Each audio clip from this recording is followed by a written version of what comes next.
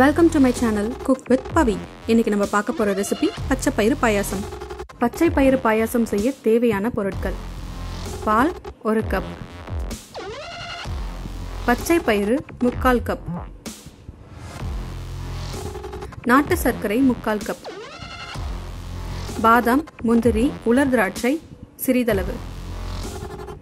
நெய் ஒரு table spoon ஏலக்காய் தூள் அரை டீஸ்பூன் ஒரு சிட்டிகை உப்பு. சிறிய துண்டுகளாக நறுக்கிய தேங்காய். ஸ்டவ் ஆன் பண்ணி குக்கரை ஹீட் பண்ணிக்கோங்க. பேன் நல்லா ஹீட் ஆனதும் அதில் பச்சை பயிறு முக்கால் கப்பை ஆட் பண்ணிக்கோங்க. இது லைட்டாக வறுத்து விட்டுக்கோங்க. மிதமான சூட்லேயே வறுக்கலாம். ஃபைவ் மினிட்ஸ் இதை வறுத்துட்டு இதில் three cups of water add பண்ணிக்கோங்க. எந்த கப்பில் நீங்கள் பருப்பு எடுத்தீங்களோ அதே கப்பில் த்ரீ கப்ஸ் வாட்டர் இதை நல்லா மிக்ஸ் பண்ணி விட்டுட்டு டூ விசில்ஸ் வர வரைக்கும் வெயிட் பண்ணிக்கோங்க.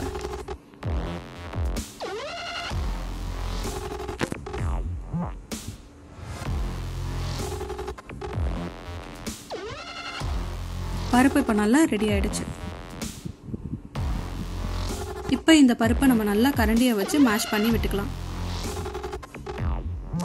இப்போ நம்ம மேஷ் பண்ணி விட்ட பருப்பை ஸ்டவ்வில் வச்சு அதில் முக்கால் கப் நாட்டு சர்க்கரையை ஆட் பண்ணி மிக்ஸ் பண்ணிக்கலாம்.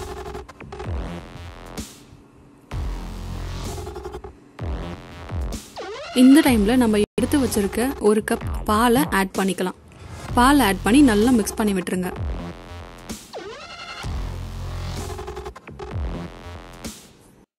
இதே டைமில் நம்ம ஒரு பேன் வச்சுக்கலாம். பேனில் ஒரு டேபிள் ஸ்பூன் கீ ஆட் பண்ணிக்கலாம். அந்த கீயில் நம்ம ஸ்மால் ஸ்மால் பீசஸாக கட் பண்ணி வச்சுருக்க பாதாம் முந்திரி இது ரெண்டுத்தையும் ஆட் பண்ணி ப்ரௌனாக வறுத்துக்கலாம். கொஞ்சம் பொன்னிறமாக இதை மாறின உடனே இதில் உலர்ந்த திராட்சையை சேர்த்துக்கலாம். உலர்ந்த திராட்சை நல்ல பால் மாதிரி வரும்.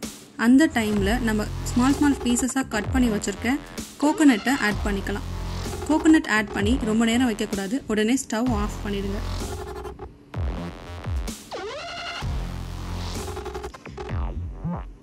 இப்போ இது எல்லாத்தையும் நம்ம எடுத்து நம்மளோட பாயாசத்தில் ஆட் பண்ணிக்கலாம்.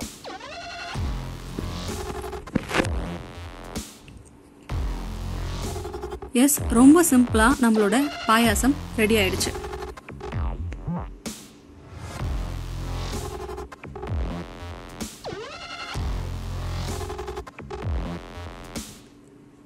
இதில் கொஞ்சமாக ஏலக்காய் தூளை மிக்ஸ் பண்ணி விட்டுக்கோங்க. அவர் பச்சை பயிறு பாயாசம் இஸ் ரெடி இந்த ரெசிபி உங்களுக்கு பிடிச்சிருந்தா மறக்காமல் நம்மளோட சேனலில் சப்ஸ்கிரைப் பண்ணிக்கோங்க. தேங்க்ஸ் ஃபார் வாட்சிங்